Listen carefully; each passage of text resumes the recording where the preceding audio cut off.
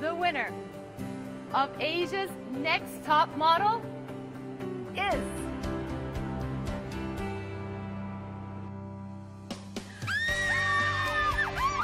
So shocked and like, really? I can't believe. You're to become the 2016 Face of Tresemme. Ladies and gentlemen, I give you the winner of Asia's Next Top Model Cycle. I'm very excited to be a new face of Tresemme. Can't wait.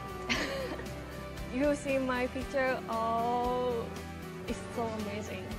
If you have dream, just go for it. No need to be scared.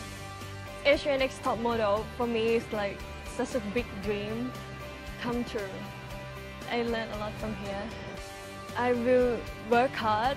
I'm so happy to be Asian Next Top Model Cycle 4. Thank you so much for supporting me.